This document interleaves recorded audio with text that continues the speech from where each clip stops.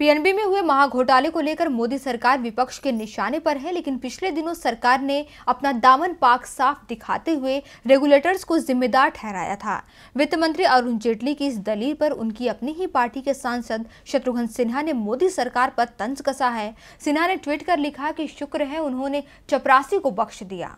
सरकार की नीतियों के खिलाफ खुलकर बोलने वाले पटना से सांसद शत्रुघ्न सिन्हा ने एक बार फिर पीएनबी घोटाले को लेकर सरकार पर निशाना साधा है। उन्होंने ट्वीट कर लिखा कि ताली कप्तान को तो गाली भी कप्तान को। हमारे विद्वान साथियों ने नेहरू के शासनकाल से लेकर कांग्रेस के कुशासन तक सभी को दोषी ठहराने के बाद कहा कि पीएनबी घोटाले के लिए ऑडिटर जिम्मेदार है। भगवान का शुक्र है उन्होंने चपरासी को बख्श दिया।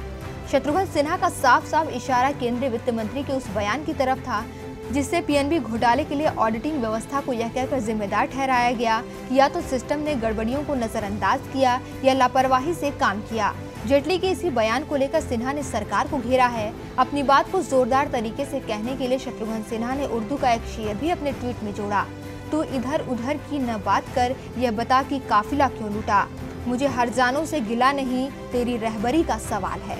वैसे शत्रुघ्न सिन्हा पहले भी मोदी सरकार की चुप्पी को लेकर कई बार सवाल खड़े कर चुके हैं। की रिपोर्ट।